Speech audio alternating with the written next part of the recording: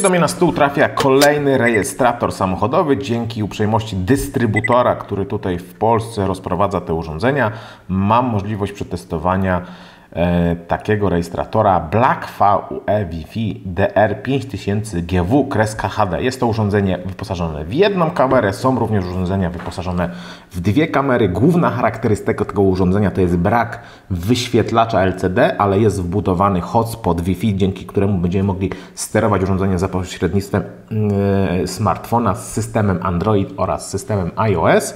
Yy, jest tu rejestracja filmów HD, Full HD 30 klatek na na sekundę, e, jest wbudowany GPS, jest wbudowany Voice Guide, jako że mamy ograniczoną liczbę e, kontrolek oraz samo urządzenie ma być montowane za lusterkiem, tak więc mamy głośnik, z którego będzie się dobiegał miły kobiecy głos, informując nam o stanie pracy tego urządzenia, niestety w języku e, angielskim. Wbudowany jest również superkondensator, który będzie nam podtrzymywał napięcie zasilania w momencie, kiedy będziemy opuszczali samochód na parkingu, tak żeby on nagrał te ostatnie 2 czy 3 minuty, w których e, będzie ta aktywność rejestrowana właśnie po opuszczeniu samochodu. E, słuchajcie, dostępna jest aplikacja, tak jak mówiłem, na Androida, na iOS-a, również dla Windowsa, jak i na Mac OS X. Przejrzyjmy się może, co znajduje się w pudełku. W pudełku mamy sam rejestrator, któremu jak zwykle przyjrzymy się za chwileczkę. Oprócz tego otrzymujemy instrukcję obsługi, kolorową, taką skróconą, możemy powiedzieć do minimum instrukcji obsługi. Otrzymujemy również wymienną taśmę, ponieważ urządzenie jest mocowane za pośrednictwem taśmy dwustronnej, nie przyssawki, tak więc jeżeli byśmy chcieli je przenieść do innego samochodu lub w inne miejsce, musimy być wyposażeni w taką taśmę. Oprócz taśmy dostajemy również przewód zasilający 4,5 Urządzenie pracuje w zakresie napięć od 12 do 24 V. E, również dostępne jest w, wraz z urządzeniem przejściówka, do której będziemy mogli zainstalować kartę microSD i wsunąć ją do portu USB swojego komputera PC lub Mac. W zestawie znajdują się również takie uchwyty na przewód, tak abyśmy mogli w dowolny, wygodny sposób poprowadzić przewód zasilający do rejestratora. Przyjrzyjmy się samemu rejestratorowi. Jak widzicie jest on wykonany z plastiku, z plastiku dość wysokiej jakości. Na górze i na dole mamy dostępne otwory, które będą pełniły rodzaj chłodzenia tego urządzenia. Pamiętajmy, że w samochodzie w sezonie letnim dość wysokie temperatury lubią panować. Nie mamy standardowej w tego typu e, urządzeniach przystawki, mamy taśmę dwustronną. Urządzenie zgodnie z tym producent, co nam zaleca, ma być zainstalowane za lusterkiem. Tak więc to rozwiązanie jest o tyle fajne, że e, nie będziemy sobie przesłaniać zupełnie pola widzenia sam, sam rejestrator będzie zainstalowany za lusterkiem. Oczywiście mamy możliwość w prosty sposób wyjęcia tego rejestratora z uchwytu, tak więc jeżeli ktoś chce go wziąć do domu, ktoś mm, nie chce go zostawić na parkingu, bo boi się, że ewentualnie urządzenie zostanie e, skradzione, tak więc bez najmniejszego problemu przyciskamy przycisk i możemy to urządzenie z tego uchwytu wyciągnąć. Jak widzicie, ten uchwyt jest wyposażony jak gdyby w takie zapadki, ząbki, czyli też gdzieś na tych wertepach on swobodnie nam się jakoś tam nie odwróci wróci, czyli tak jak go ustawimy, tak jak sobie skontrujemy go, to będzie mm, ten rejestrator zainstalowany. Y, może pokrótce, co na tym rejestratorze się znajduje? Ja go po prostu uruchomię, podłączę zasilanie. Jak widzicie, od razu pojawiają nam się kontrolki, które nam sygnalizują rozpoczęcie procesu rejestracji, ewentualnie zafiksowania GPS-u. Z drugiej strony będziemy za chwilę mieli widoczną kontrolkę Wi-Fi, która będzie nam sygnalizowała fakt, że już sieć Wi-Fi jest uruchomiona i można się do niej podłączać za pośrednictwem.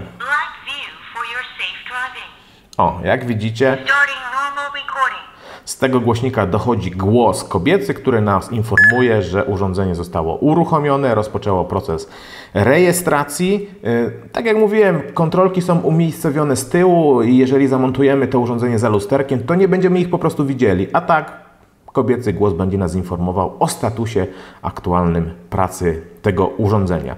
E, na tyle widzimy te dwie kontrolki oraz e, głośnik. Z drugiej strony jest obiektyw. Pod obiektywem znajduje się e, dioda opisana w instrukcji jako security. Ona po prostu cały czas mruga i no, ma nam sygnalizować, że urządzenie jest w jakiś sposób zabezpieczone. Na jednym, jednej ze ścianek. Widzicie teraz informację, że jest za uruchomiony Wi-Fi hotspot i będziemy mogli za chwilę za pomocą smartfona się lub tabletu podłączyć do tego urządzenia. Mamy również tutaj taki przycisk dotykowy. E, tak naprawdę to Od, odłą- y, tak naprawdę przesłaniamy dostęp światła i w tym momencie możemy wyłączyć lub włączyć rejestrację e, dźwięku przez to urządzenie. Ponowne zasłonięcie i odsłonięcie spowoduje z powrotem włączenie, e, z powrotem włączenie rejestracji e, audio. Po wyłączeniu zasilania automatycznie urządzenie przechodzi w tryb parkingowy. Jeszcze przez zadaną, zadany okres czasu rejestruje nam rejestruje nam to, co się dzieje na, na parkingu oraz informuje nas, że będzie za chwilę wyłączone. Przyjrzyjmy się to temu, co znajduje się na drugiej krawędzi urządzenia. Mamy przycisk, ten przycisk służy do włączenia i wyłączenia sieci Wi-Fi. Mm, Również 10-sekundowe przytrzymanie tego przycisku mm, spowoduje sformatowanie karty pamięci. Jeżeli, jeżeli chcemy usunąć wszystkie nagrania, przytrzymujemy go 10 sekund, dostaniemy stosowny komunikat głosowy, że karta jest formatowana i prośbę o niewyłączanie e, zasilania. W zestawie również producent nam taką kartę pamięci dostarcza. W tym przypadku jest to 16-gigowa karta. Nie musimy się stresować, chodzić, kupować dodatkowej karty, zastanawiać się, czy ona będzie z urządzeniem współpracowała, czy nie. Mamy kartę od producenta i jesteśmy pewni, że na pewno ten zapis będzie na tej karcie e, prowadzony. Dodatkowo e, jeszcze pod tą zaślepką mamy mm, przycisk reset oraz złącze zasilania. Sam przewód jest to przewód bez przetwornicy. Wydaje mi się, że cały przetwornica w środku się znajduje, czyli mamy zwykłe 12V bezpośrednio doprowadzone e, z akumulatora do tego urządzenia. Oprogramowanie dla Androida, jak i iOS-a ściągamy normalnie ze sklepu Play. To oprogramowanie jest tutaj dostępne. Wpisujemy nazwę producenta, czyli Black VUE i możemy sobie pobrać oprogramowanie na nasze urządzenie. Jak widzicie, ja już mam takie oprogramowanie podłączone, uruchomię je. Ważną informacją jest to, jeżeli pierwszy raz będziecie się podłączali do tego urządzenia, będzie on was, od Was chciał hasło. Jeżeli byście go nie znaleźli w instrukcji, to Wam podpowiem, że wpisujemy po prostu nazwę producenta, czyli Black VUE jest to hasło żeby się do tego urządzenia podłączyć. W trybie na mm, iPadzie urządzenie chodzi jak gdyby w rozmiarze na iPhone, czyli musimy je zeskalować, tak więc ja Wam pokażę wszystko na przykładzie aplikacji androidowej. Po uruchomieniu otrzymujemy prosto, prosto, mm, proste menu, gdzie widzimy wszystkie zarejestrowane e, obrazy, wszystkie tryby, czyli tryb normal, tryb event, czyli jakichś zdarzeń i tryb parkingowy. Mamy tutaj zakładkę dla przedniej dla kamery, ale tak jak mówię, tutaj mamy urządzenie wyposażone e, w jedną e, kamerę. Mamy zarządzanie pamięcią wbudowaną, zewnętrzną, mamy podgląd live tej kamery. Jak widzicie, teraz kamera nam rejestruje live. Ja ją tutaj ruszam e, również i ten ekran nam się rusza. Oczywiście nie służy to do niczego innego jak do ustawienia kamery. Nie należy podczas jazdy oglądać tego, co się przez tą kamerę dzieje, bo e, mogłoby to się źle skończyć. Jak widzicie, jest teraz włączony tryb pokazania daty, godziny oraz prędkości. Widać również e, logo, w którym jest poko- poda- podany typ tej kamery. Zobaczmy na konfigurację. Konfiguracja aplikacji, czyli tutaj mamy dwie podstawowe opcje oraz konfigurację już samego e, urządzenia. Ustawiamy strefę czasową, em, ustawiamy rozdzielczość, z jaką ma być rejestrowany obraz wideo, jak widzicie 1920 1080 30 klatek na sekundę. E, Mamy możliwość ustawienia jakości, wiadomo im wyższa jakość, tym mniej materiału nam się na kartę zmieści. Ja zobaczę ile tego materiału nam będzie wchodziło na taką szesnastkę dostarczoną przez producenta, jeżeli to już zainstaluje w samochodzie. Możemy sobie również ustawić jasność, e, z jaką ma nam to urządzenie rejestrować. Standardowa jest 2, możemy, jeżeli obraz byłby za ciemny, ustawić sobie e, troszeczkę wyższą e, jasność. E, Dodatkową opcją jest to Record Settings i tutaj możemy sobie ustawić, czy ma być nagrywany, jak widzicie, dźwięk razem z obrazem, w jakich jednostkach ma być przedstawiana prędkość, czy to ma być w kilometrach, w milach, czy może zupełnie wyłączony, w jakich interwałach czasowych mają być rejestrowane nagrania. Ja ustawię co 3 minuty, na parkingu co 2 minuty. E, System, w jaki ma być mm, segregowane pliki na tym urządzeniu. Widzimy, że teraz mamy zgodnie z, z czasem, a nie rozmiarem. Dostępna jest niestety tylko i wyłącznie wersja e, angielska. E, I w tym momencie, kiedy będziemy opuszczali e, może, musimy sobie zapisać te ustawienia i te ustawienia są automatycznie w urządzeniu aktualizowane i zgodnie z tymi naszymi nowymi ustawieniami ono będzie e, pracowało. W menu głównym widzimy zapisy, które kamera realizuje, które ma w pamięci podręcznej. Taki zapis możemy sobie podejrzeć, czyli uruchamiamy i widzimy, zaraz zobaczymy to, co tam kamera zarejestrowała, czyli gdzieś na miejscu jakiegoś zdarzenia możemy podejrzeć sobie z naszego mobilnego urządzenia, czy dana rzecz została zarejestrowana. Mamy również informacje o, o dacie, o prędkości oraz o modelu, czyli to, co już Wam pokazywałem.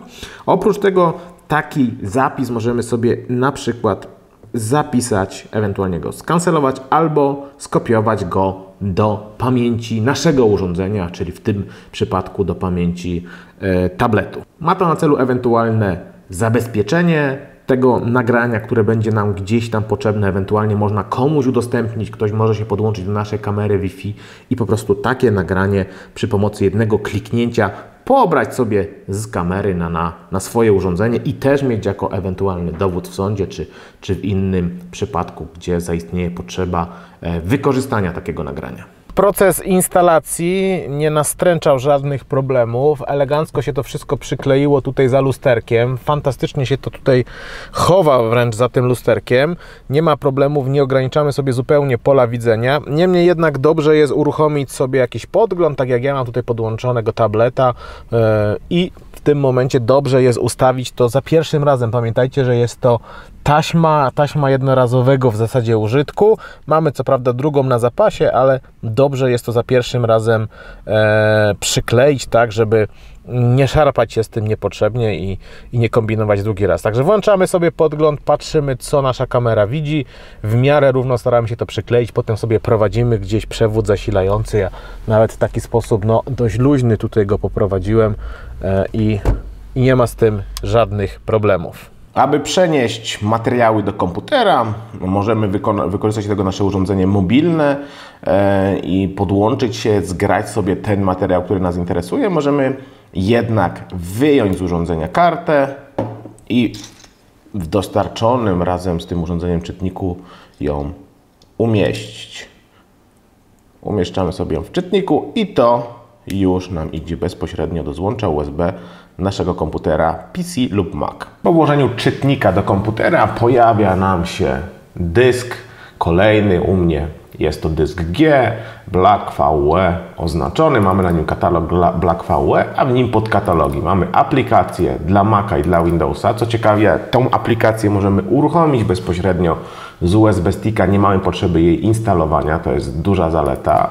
Mamy config, czyli w momencie, kiedy skonfigurujemy sobie coś aplikacją, zostanie to zapisane w konfigu, to po ponownym uruchomieniu urządzenia e, z włożoną kartą ten konfig zostanie zastosowany. Mamy katalog rekord, czyli to, gdzie te wszystkie nasze zapisy zostały poczynione. Jak widzicie, każdy taki 3-minutowy film y, trwa około 200 mega, waży około 200 mega na dysku, tak więc no, musimy sobie to przeliczyć przy, przy, przy takiej maksymalnej jakości, y, ile czasu nam na tym dysku, na tej karcie będzie można, jak dużo materiału będzie można pomieścić. Jeżeli jest potrzeba pomieszczenia większej ilości, to po prostu trzeba się przysposobić w większą kartę, ewentualnie zmniejszać jakość nagrywanego materiału. Jest również katalog software, gdzie mamy instalacyjną wersję dla Windowsa oraz system, gdzie znajdują się logi, które sobie generuje nasze urządzenie rejestrujące. Uruchamiam w takim razie aplikację. Wyłączę sobie może podgląd katalogów i tak właśnie mniej więcej wygląda ta aplikacja. Mamy okno główne, w którym się będzie znajdowało, może wezmę na razie jakieś z dnia materiały, gdzie znajduje się podgląd filmu. Słyszymy również dźwięk, jaki ten film generuje. Ja go wyłączę na chwilę. Jakość rejestrowanego dźwięku przez mikrofon nie należy do najwyższych zdecydowanie. Inne urządzenia, które już miałem okazję testować na kanale, rejestrowały lepszy dźwięk, ale jak sami wiecie, nie jest to po to, żeby rejestrować dźwięk, tylko jest to po to, żeby rejestrować e, słuchajcie, obraz. No i tutaj, jeśli chodzi o rejestrację obrazu, to nie ma jakiegoś, e, nie ma problemu zupełnie żadnego. Jest ten obraz bardzo bardzo dobrej jakości. Słuchajcie, tutaj widzimy okno podglądu, ono jest trochę zmniejszone, przez to te e, literki mm, wydają się być troszkę zniekształcone, ale one są tak jak trzeba. W momencie, kiedy odtworzymy to i włączymy sobie opcję pełny ekran, no to wtedy wy nie widzicie całego źródła, on mi się otwiera w 1080p e, i ja widzę na całym ekranie no, w dobrej jakości podgląd tego e, materiału. Co widzimy na poszczególnych ościach? Mamy kalendarz, w którym zostały nagrane pewne elementy, mamy to, co w wersji mobilnej, czyli widok z kamery front, przedniej i Jeżeli mamy urządzenie z dwoma kamerami, mamy możliwość włączenia podglądów trybu parkingowego, e, trybu e, zdarzenia i trybu normalnego. Co ciekawe, tryb parkingowy z tym super mm, kondensatorem nie działa w ten sposób, że tam nagrywa jeszcze te 3 minuty. Jeżeli byśmy chcieli nagrywać jeszcze po wysiądnięciu samochodu, po opuszczeniu samochodu, musi być podłączone do miejsca, gdzie jest stale podawane napięcie. W tym momencie automatycznie on wykrywa, że nie mamy sygnału z GPS-a i w tym momencie jest tego typu kwestia, że przechodzi w tryb o, właśnie tutaj przeszedł w tryb parkingowy. Kiedy ja gdzieś tam stałem, na kogoś czekałem, to widzicie, że automatycznie jest tryb parkingowy, ale musi być podawane napięcie. Na tych osiach widzicie, gdzie mniej więcej się znajdujecie, która jest minuta, która jest godzina i w jakim trybie e, był rejestrowany obraz. Czyli są te same kolory, które na tych przyciskach, czyli tryb event, gdzie on zanotował jakieś zdarzenie takie gwałtowne, nie wiem czy gwałtowne hamowanie, czy gwałtowne najechanie na tak zwanego leżącego policjanta. Tutaj on akurat gdzieś zanotował, no właśnie, czyli gdzieś tutaj po parkingu był ostry zakręt, czy coś mnie podrzuciło, wtedy się włączył ten tryb rejestracji e, zdarzenia, e, że tak go nazwę. Pamiętajcie, że w konfiguracji, bo również mamy z tego miejsca dostęp do konfiguracji, można sobie tą czułość tego urządzenia odpowiednio zmienić tak, żeby on po prostu nam zareagował w momencie, kiedy faktycznie się dzieje coś dramatycznego, a nie e, wchodzi, wjeżdżamy na próg zwalniający gdzieś tam, gdzieś tam w galerii handlowej czy na osiedlu. e, podstawowa konfiguracja, czyli to samo, co żeśmy mieli dostępne z Androida, tylko tyle, że na jednym e, ekranie widzimy rozdzielczość, mamy jakość, mamy jasność rejestrowanego obrazu, e, mamy tutaj tryby zapisu, w jakich, jak długo, na jakie kawałki ma być dzielony e, standardowy zapis, jak długie kawałki ma mieć zapis parkingowy, e, jak ma być sortowane to, co będzie zapisane na dysku, na karcie, która znajduje się w urządzeniu. Tutaj mamy ustawienie e, czułości oraz ustawienie Wi-Fi oraz tego, co mówiłem, tych wszystkich diod, które nam e, sygnalizują na przykład w tym momencie, że no, na, zapis jest zrealizowany. Możemy sobie te diody wyłączyć, czy w parking mode, czy, czy, czy w record mode, to już jak chcemy. Jak widzicie, mamy tutaj wersję języka tylko i wyłącznie angielską, ale ogólnie sam, samo, e, samo oprogramowanie sprawia bardzo fajną, bardzo fajne wrażenie. Ja może uruchomię jeszcze jakiś e, element, gdzie był, zapis, gdzie był zapis. Widzimy tutaj w momencie, kiedy jedziemy, z jaką prędkością. On tutaj się włącza nam w milach, możemy sobie przełączyć w kilometry. Mamy, że sygnał GPS był w wykryty, jest oznaczenie i tutaj widzimy też dokładne współrzędne. Tutaj u góry przesuwa nam się na tym wykresie te, te, te, te wszystkie ustawienia akcelerometrów, czyli tego, co się tam gdzieś tam dzieje e, i gdzie następuje jakiś tam tryb parkingowy, jakiś tryb awaryjny, gdzie, e, gdzie wchodzimy w ten tryb, tryb zapisu e, zdarzenia. Jeżeli tam jest jakieś gwałtowne wychylenie jednej z osi tego akcelerometru, wtedy się automatycznie włącza ten tryb, ten tryb E, nieulotny. Generalnie duży plus, jeśli chodzi o programowanie, bardzo fajnie to działa. Jeżeli byśmy zamontowali do góry nogami, to mamy również możliwość przełączenia tej kamery, tylko wtedy pamiętajcie, że te zapisy niestety już są wdrukowane jak gdyby na obraz e, i nie będziemy mogli ich odwrócić. Będzie ten cały obraz e, odwrócony. Tak więc jeśli chodzi o programowanie, jakość działań, jak widzicie u mnie Windows 8.1 nie ma najmniejszego problemu, żeby to działało. Duży plus, że nie trzeba tego instalować, czyli do każdego komputera możemy przyjść, włożyć sobie e, tą kartę i e, mieć możliwość obejrzenia tego, co zostało zarejestrowane. Powiem szczerze, że mnie się bardzo to urządzenie spodobało, szczególnie sposób instalacji, e, gdyż no, nie ogranicza on nam pola widzenia, jest to zrobione tak, jak ja bym sobie tego wymagał. Może nie jest to takie montowanie łatwe do zmienienia miejsca czy zdemontowania tego urządzenia na stałe, bo jak widzieli z uchwytu możemy to wyjąć bez problemu, e, ale przez to, że jest ono takie małe, to możemy właśnie je umieścić tam, gdzie ja Wam pokazałem za lusterkiem i zupełnie to urządzenie nam nie przeszkadza w normalnym użytkowaniu sam, samochodu. W zasadzie go nie zauważamy do momentu, kiedy nie chcemy z niego wyciągnąć danych, gdy te dane nam są e, potrzebne. Za chwilę dołączę Wam e, z obrazy, które zarejestrowałem tym, e, tym urządzeniem. Będziecie mieli możliwość posłuchania sobie trochę dźwięku, jak ono rejestruje. Jak mówiłem, dźwięk nie jest rejestrowany na, najwyższej, na najwyższym poziomie, ale to w zasadzie nie ma znaczenia, bo tutaj jest tak, tak, tak naprawdę dźwięk drugorzędną wartością zapisywaną przez to urządzenie. Zachęcam Was do komentowania, jeżeli posiadacie takie urządzenie, to napiszcie, jak ono się Wam sprawuje, czy w dłuższym czasie użytkowania przy jakichś wysokich temperaturach nie następują jakieś problemy, jeśli chodzi o wentylację, o przegrzewanie się tego urządzenia oraz zachęcam Was do obejrzenia innych tego typu urządzeń, które miałem możliwość przetestowania na kanale testhub.pl. Utworzę dzisiaj specjalną playlistę, gdzie będę te rejestratory wideo wrzucał, bo jest już chyba około 3 czy 4 na kanale i tam będzie można łatwo sobie pogrupować, obejrzeć to, co będziecie chcieli, jeśli chodzi właśnie o te rejestratory wideo, pooglądać.